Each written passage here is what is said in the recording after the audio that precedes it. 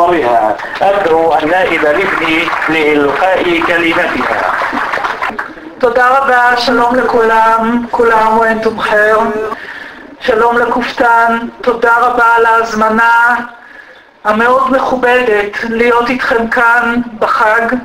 תודה על האירוח ותודה על כל הפעילות הציבורית שאתה עושה למען בני העדה ושילובם בחיי התעסוקה במדינת ישראל, מתוך אמונה שכל אדם, בוודאי שכל חייל משוחרר, צריך למצוא את עצמו במקום שמכבד אותו, במקום שבו הוא יכול לחזור הביתה ולגדל משפחה ולפרנס אותה בכבוד ולהרגיש אזרח שווה זכויות במדינת ישראל. והאמת היא שאתה עושה את זה מתוך אמונה שזה מה שצריך להיות, אבל בעיניי קודם כל זה תפקידה של הנהגה. ושוויון בעיניי זה לא איזה מילה שלומדים אותה בשיעורי אזרחות בבית הספר. שוויון זה קודם כל עוסק בנו כבני אדם. האם אנחנו יודעים לתת כבוד לאדם אחר, לכבד אותו בשביל מה שהוא כאדם, להעריך אותו בשביל עמדותיו, גם אם אנחנו חולקים על העמדות האלה, ולתת לו את האפשרות לחיות על פי אמונתו בצידנו.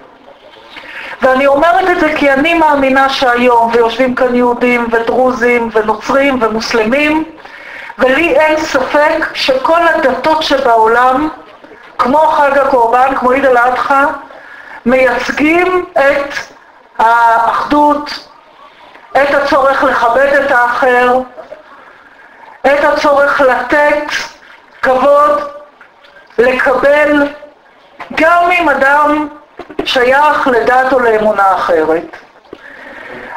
והדברים האלה שהם כל כך מובנים בעיניהם לנו, למי שנמצא כאן, לצערי לא מובנים תמיד באזור הזה, בשכונה הקשה הזאת שבה אנחנו חיים. ויש לצערי מי שהופך את הדת לכלי במלחמה על מנת להסיר ולהעליט את היצרים, על מנת לייצר אג'נדה של שנאה שנובעת מהדת, במקום אג'נדה של אהבה, וזה מה שאני מאמינה שדת, כל דת, מייצרת. ואני אומרת את זה כי השימוש לרעה הזה מנסה להפוך סכסוכים שקיימים, ואני אתייחס אליהם, כסכסוכים דתיים. וסכסוכים דתיים שבהם אתה לא מקבל את האחר, הם סכסוכים שאי אפשר לפתור אותם. ואני מאמינה שהסכסוכים שאיתם אנחנו צריכים להתמודד כאן הם סכסוכים פתירים, והשלום הוא קודם כל אינטרס שהוא אינטרס לאומי ישראלי ולא טובה שעושים לאף אחד. כפי ששוויון זה חלק מהערכים של מדינת ישראל ולא טובה שמישהו עושה למישהו.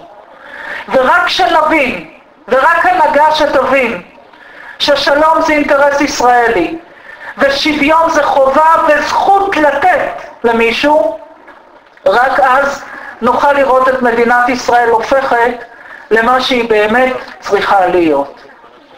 ודיברו כאן על אחדות, וגם קופטן דיבר על אחדות.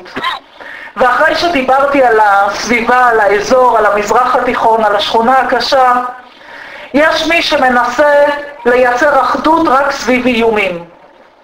קשה, יש את איראן, חיזבאללה, חמאס, כל אלה שלא מקבלים את הקיום שלנו, כל אלה שמנסים להפוך את העניין הדתי לסכסוך שהוא לא פתיר, ולכן אנחנו צריכים להיות מאוחדים נגד האיומים. ואני אומרת היום שזה חשוב, אבל זה לא מספיק. אני חושבת שהחברה בישראל, על כל הגוונים שיש בה, הדתות שיש בה, העדות שיש בה, צריכה לקבוע מכנה משותף שהוא זה שמאחד אותנו.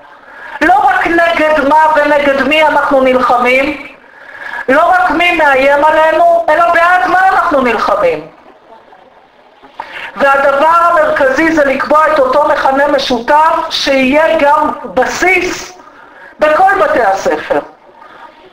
וזה לא משנה לי אם זה בתי ספר שמדברים בהם ערבית, או בתי ספר שמלמדים בהם עברית, או בתי ספר או ישיבות שמדברים בהם יידיש או כל שפות אחרות.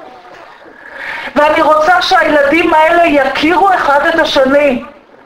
וזה לא מספיק. אני גידלתי ילדים בתל אביב, ופעם בכמה שנים ילד אחד נפגש עם הילדים מבלין, וילד אחר נפגש עם הילדים משגב שלום, זה לא מספיק.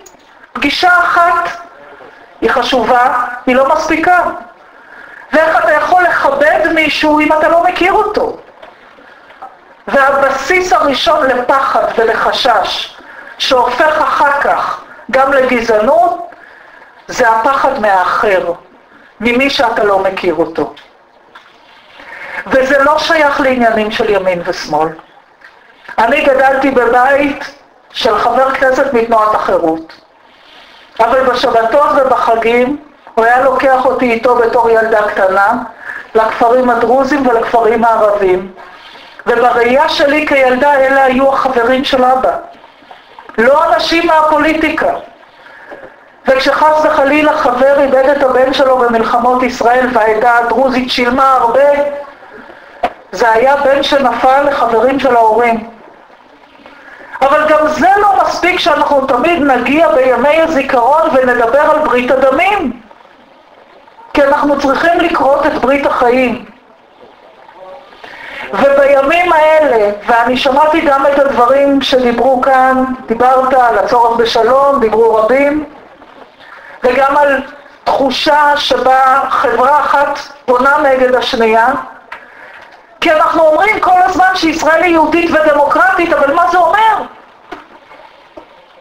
עכשיו בעיניי הקיום של מדינת ישראל כמדינה יהודית ודמוקרטית הוא מאוד חשוב. אבל בואו נבהיר מה זה אומר. מדינה יהודית זה לא מדינה דתית. זאת מדינה שנותנת ביטוי לאומי לעם היהודי, אבל היא גם מדינה שזה מדבר, לא מדבר על מה כל אחד עושה בביתו, אין בזה כפייה, אבל חלק מהערכים שלנו כמדינה דמוקרטית, ובעיניי זה גם חלק מהערכים של הדת היהודית, היא לכבד את כל בני האדם, את כל אזרחי המדינה הזאת, שהם אזרחים שווי זכויות. אמרתי מקודם ששוויון זה לא רק שיעור באזרחות. רבותיי, אין שוויון אם אין בצידו גם פעולה, גם תוכנית פעולה וגם תקציב. וזה כבר חובה של ממשלה. ורואים במדינת ישראל, לצערי, את אי השוויון בעיניים. רואים את זה בתשתיות שונות, ביישובים שונים, רואים את זה במערכת החינוך. איך אפשר לדבר על שוויון כשהילדים לא מגיעים מרקע שווה? וכשאנחנו מדברים על חינוך, תקציב שהוא תקציב שוויוני,